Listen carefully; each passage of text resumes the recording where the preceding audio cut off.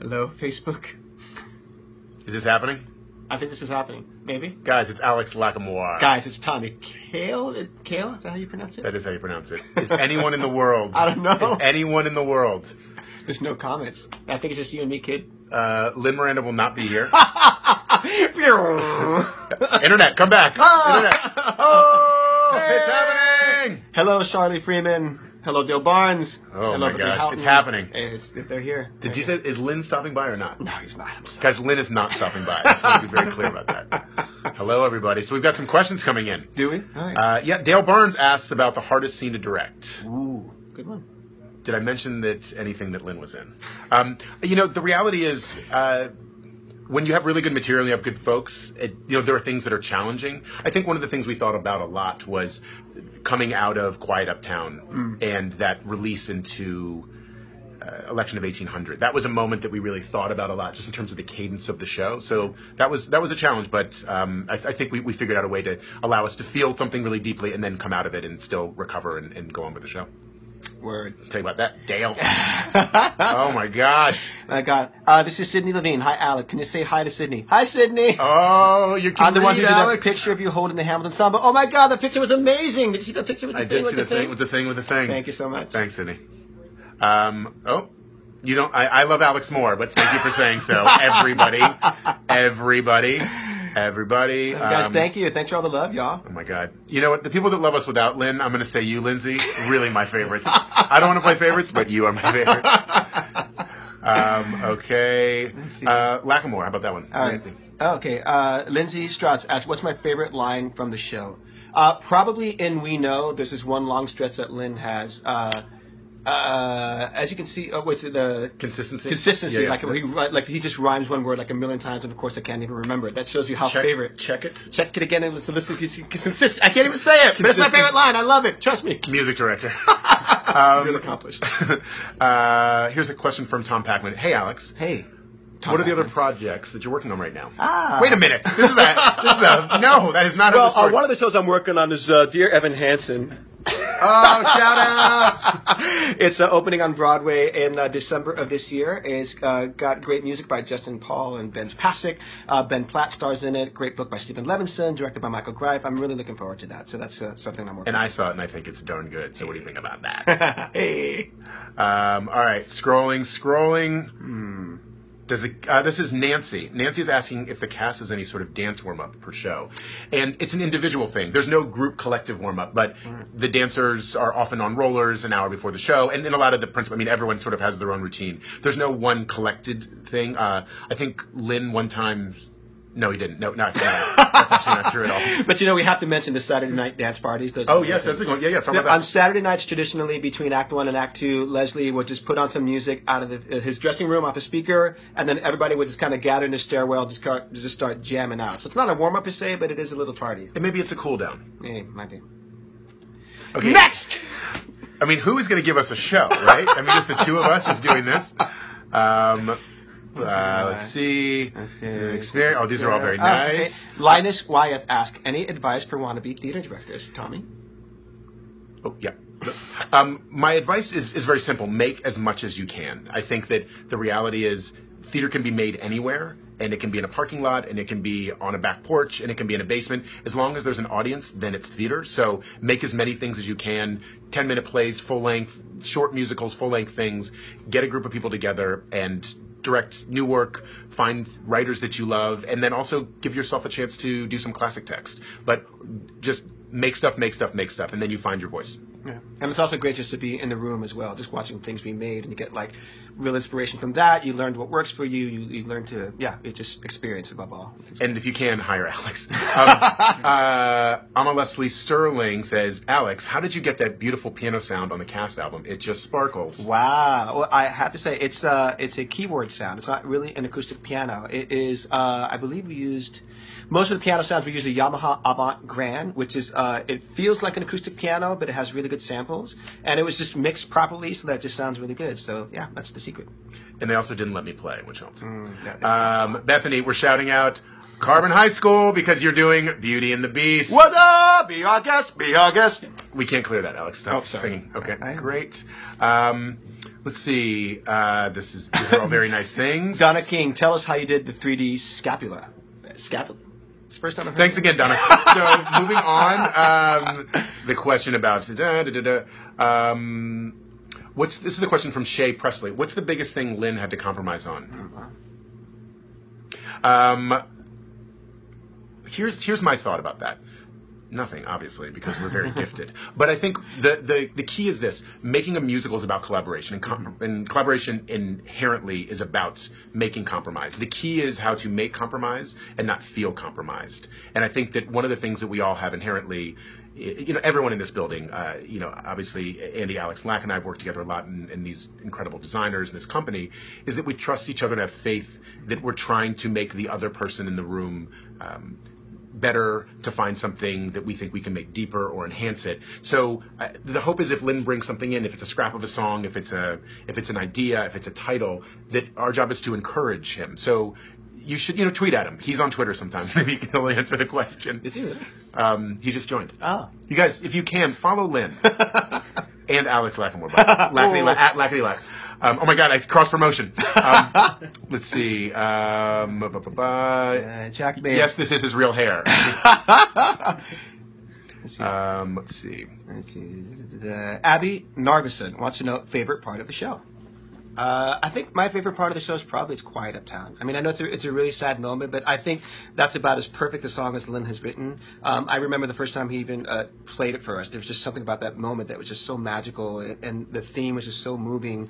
And it was one of those times, and I remember like, you know, he had written up until the point that Philip dies, and we all asked ourselves, "Oh my God, like, how do you get out of this moment? What comes next?" And then came that song, which I thought was just like the perfect way to kind of just like reset and be able to just go on with the show and with the story. So I don't know, that's just something about that song really moves me.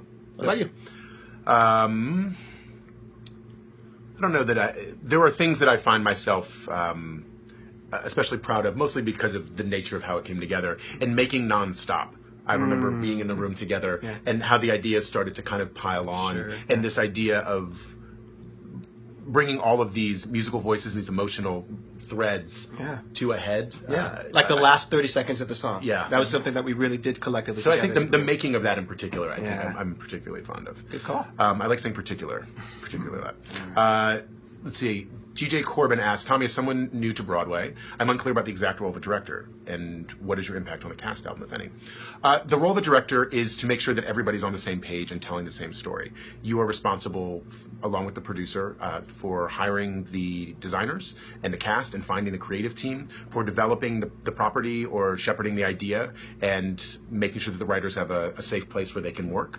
Um, you are involved with every aspect of the design. You're working with the designers really early on to form the look of the show and make the world of the show. And then, you know, you're having many conversations with all of the departments. Alex is the head of his department. Uh, Andy Blankenbuehler and I obviously work really closely together to try to create as seamless uh, an, an effort as we can. Um, but mostly it's about making sure everyone knows what story they're telling and and how they want to tell it. Uh, and that, that's something that is really kind of the, the, the top line for me. Yeah. And for the cast album, actually, Tommy was more involved than most directors for, for cast albums, which was great. He was there for uh, every recording done by the principals. Uh, he was there to kind of give acting notes to make sure that the feel of what happens on stage was actually translated onto the record, which was fantastic. And big shout out to this guy who was on vacation in France. Listening to takes and giving notes via email when uh, he could have been relaxing, so that that shows dedication. So it's really I'm not great at relaxing, guys. And it was my first vacation in a long time, and there was internet. So, although I um, I'm not on Facebook, I am aware that there's an internet. okay, great. I'm going to scroll down. Can you use your hand because my arm is Absolutely, dude. Let's oh do this. My gosh. All right. Oh my god. Ah, Oh, don't block that person. They seem great. Katerina- which, uh, rituals backstage. Oh, Uh, yeah, Katerina, yeah. you talk about Katerina. Saturday Night on Broadway? Oh my God, Saturday Night on Broadway! It's the best. So uh, when we were in In the Heights, just for whatever reason, Jason Bassett, our stage manager, uh, whenever he would uh, say, uh, "This is five minutes, ladies and gentlemen, five minutes before the show," and it's Saturday Night on Broadway, and that's just what he would say. And then he one day said, "You know, Lack, we need like a jingle." So then, oh, can I put the jingle? Yeah, yeah. Okay, Okay, there we go. So he said, we Wow, guys, this is a deep. This is like some inside baseball. And then all out of nowhere, I said, uh, "Well, how about this? Saturday Night on Broadway." And then we didn't have an ending. The broadcast was on. Saturday Night on Broadway. Stay ready. So now it then became this elaborate thing where now we like do skits leading up to that song, like kind of tributes to whoever has been happening. For example, when Muhammad Ali passed away recently, we played a clip of something he said. When uh, I think Beyonce's record dropped, we played like a little bit of Lemonade, all that stuff. But we always end with that jingle, so that's a, a fun ritual. Um, all right. Ooh. Hey, help. Oh, hey. Hey. Oh, Oh. who's holding it now? Here in my hand. Magic. Very confusing. Um, here's a question from David Murphy about the international response to Hamilton.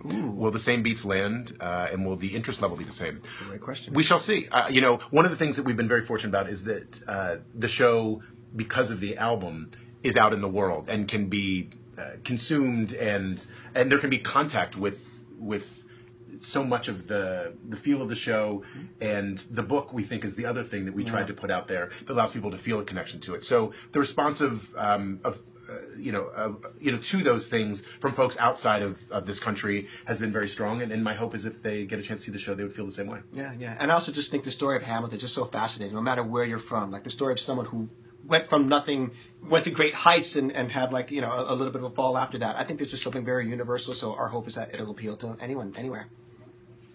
Okay, great. Uh, let's see. Uh, James Edward Doffin asks, a moment in the show that hits close to your heart and home each night. I kind of talked about You talked about Uptown. I- I- all right, but thanks for the question. See Great quiet question. uptown. See quiet uptown. Let's see. Uh, three more minutes, guys. We're going to go to the 15 minute call. If you were to, this is from ooh, Behlul test film.